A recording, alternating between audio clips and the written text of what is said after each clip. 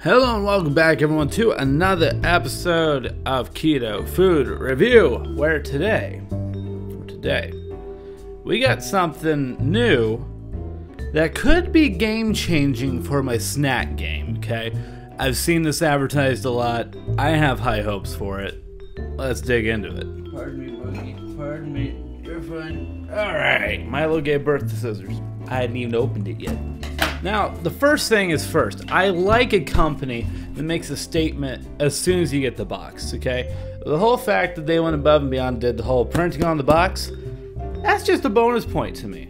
I'm not gonna lie. I like people that do that. If they ship it in a plain brown box, I'm gonna be like, what package is this? No, I know what this is. We got eight. All right, so here's what's going on here. It's called Flock. It's chicken chips. And I, am interested in the. Okay, well, that's interesting. The ingredients of this are just chicken skins, salt, and soybean oil. That's it. If we're going into the nutrition facts, this is why this is the keto game changer if it's really good. 14 grams of fat, zero carbs, 13 grams of protein, and that's amazing.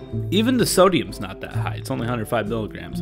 Cholesterol, on the other hand, he's a little up there, but that's okay. And you know what? They have a little story on here. Let's go and do a story reading. We love chickens, and we're pretty sure you do too.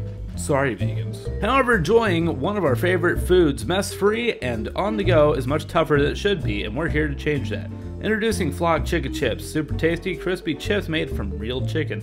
Our premium and flavorful chips pack a delicious crunch that serve as a great on the go snack that can be eaten straight from the bag, as a salad topping, or even as an addition to a caricature. Caric- I think that's caricature plate. So I am very hungry. It's time to dine. First thing smell. It smells like uh, pork rinds, but something's just a little off, which is basically what they are. First impression? Uh, you ever been to Long John Silver's and you have those little crisps that are like in the bottom of the basket? Like, what you get like a fish or a chicken? That's what makes me think of, which means I'm probably going to love this. Well, that hit different than I expected. Let me go on for one more before I talk. Now, we need to take everything that I say with a grain of salt, okay? Because let me go ahead and disclaim, this is the original, okay? This isn't a flavored up one, this is just a plain old, plain Jane chicken chips, okay? I wanted to go with the base, so that way I had a pretty good understanding of what could be added to it. And let me tell you this, they're pretty damn good. Take a pork rind, just change it a little bit, and this is what it is.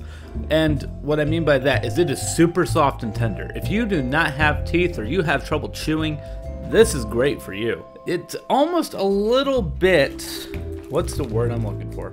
It melts in your mouth. That's the best way to put it. It melts in your mouth. It's weird, but good. I was just expecting this to be a lot more potato chippy, and it's not potato chippy. It's very unique in its own way, and it ju- it just isn't bad. It just isn't. It's very very good. I think if you were blindfolded, would you know that this is fried chicken skin? No.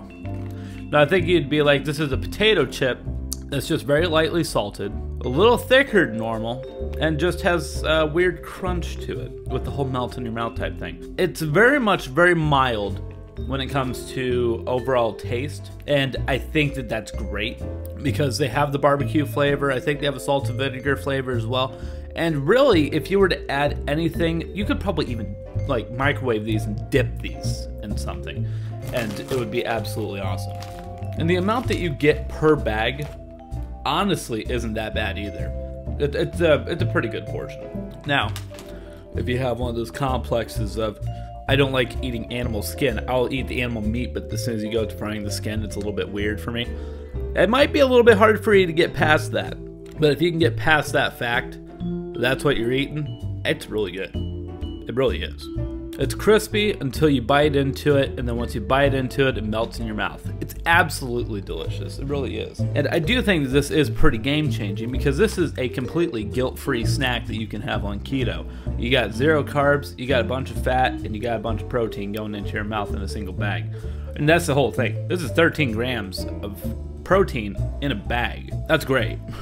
But overall, from what I'm hearing, the company is pretty small and I personally will probably continue to support these guys. I definitely want to try the barbecue and see how that is now that I know what the base is.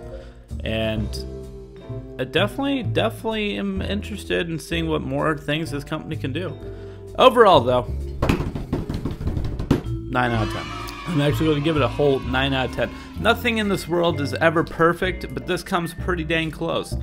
And I think it's the combination of it being so unique and then so keto friendly is what really makes this for me. It's so unique and game changing that you could have this as a side dish, you could have it as a snack. This is game changing for what you can add and and include into your regular diet. You could crush these up and end up using them as a breading for something. There's just a lot you can do with this that goes above and beyond the other things that I've reviewed so far. I definitely think this company's on to something.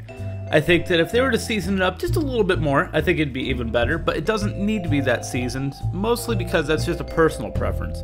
I think if they were to go ahead and season even more, uh, it could get a little bit too salty for some people. This is very much a universal amount of seasoning. I think that they have it nailed.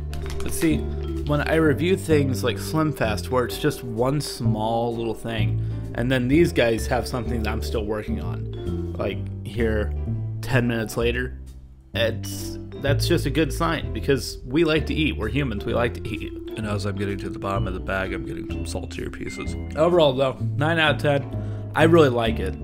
I definitely think that anyone who's on keto, or if you're just on a regular food, if, if you just want something different and tasty, this is good. I think this would be good for any anybody to eat. This doesn't have to just be a keto thing, but it's very, very great for keto people. So honestly, I love it. I want to see more from them. I want to see what else they can do. But that's going to do it for this episode of Keto Food Review. Hopefully you guys enjoyed, and I'll see you guys back here in the next episode. Where let me give you a little hint. We're doing one of these. See you next time.